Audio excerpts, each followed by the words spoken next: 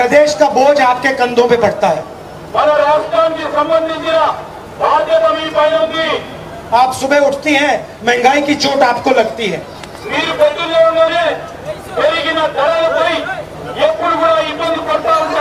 आपके बच्चों को रोज़गार नहीं मिलता दर्द आपको होता है।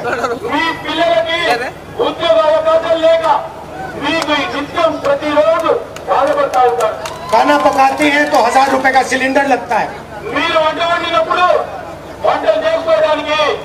వెయ్యి రూపాయలు సిలిండర్ పొద్దు ధర बस बस में जाती हैं आपको टिकट खरीदने का पैसा देना पड़ता है మీరు బస్సులో ప్రయాణం చేస్తే బస్సు టికెట్లు కొనాలి కానీ అది కూడా పెద్దగా భారం పడతా ఉంది जैसे ही हमारी सरकार यहाँ आएगी ఈ రాబోయే కాంగ్రెస్ పార్టీ ప్రభుత్వంలో पहले दिन से तेलंगाना की महिलाओं के बैंक अकाउंट में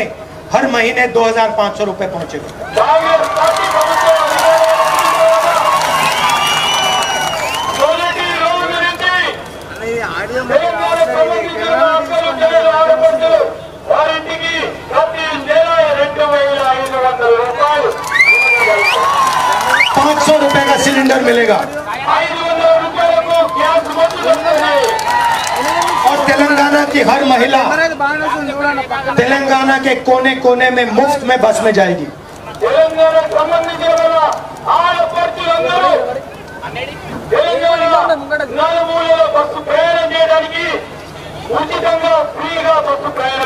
आप देख लेना। आप देख लेना तेलंगाना में लहर आ रही है। कांग्रेस पार्टी की लहर है।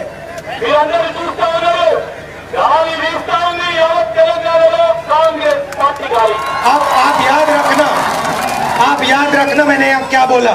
और जैसे ही हमारी सरकार आएगी, आप देखना। आप पूछना अपने आप से, जो राहुल गांधी ने कहा था, क्या सच कहा था या झूठ बोला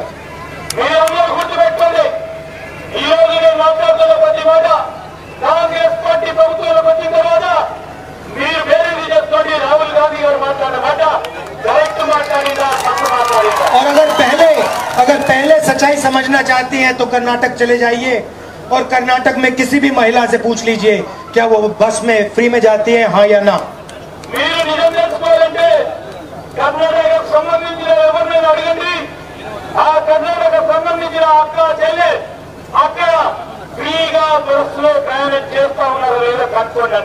उनसे पूछ लीजिए इनको बैंक अकाउंट में पैसा हर महीने आता है हाँ या ना?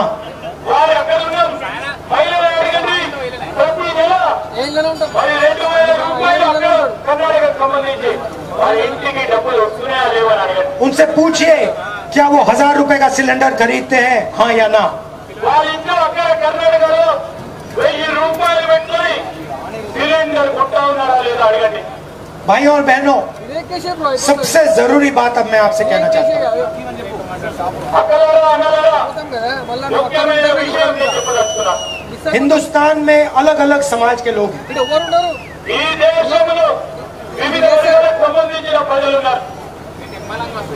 ओबीसी हैं दलित हैं आदिवासी हैं माइनॉरिटीज के लोग हैं जनरल कास्ट के लोग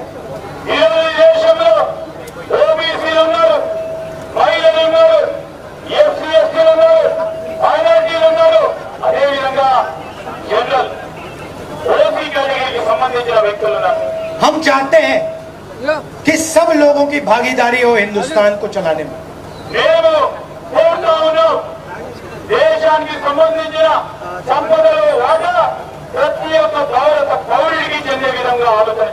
आज तेलंगाना में किसी को नहीं मालूम कि तेलंगाना का धन कहाँ जा रहा है किसके हाथ में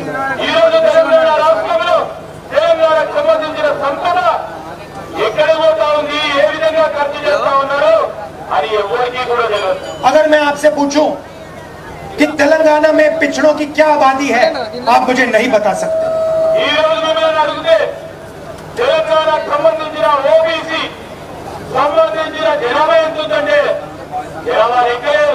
चलो मैं आपसे पूछता हूँ मुझे बता दो तेलंगाना में पिछड़े वर्ग की कितनी आबादी है?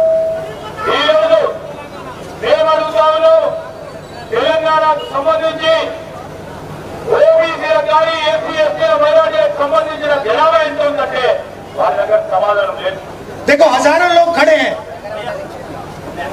मगर इस सवाल का जवाब कोई नहीं दे सकता ఏడు వేలాది మంది ఉన్నారు మేము అడిగిన ప్రశ్నకి ఎవరు కూడా సమాధానం చెప్పలేకపోతా ఉన్నారు सही बात है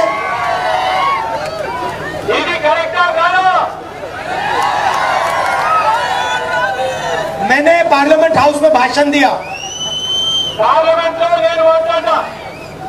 और मैंने सवाल पूछा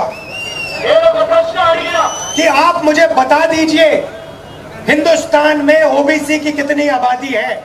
मैं समझना चाहता हूँ मैं जानना चाहता हूँ।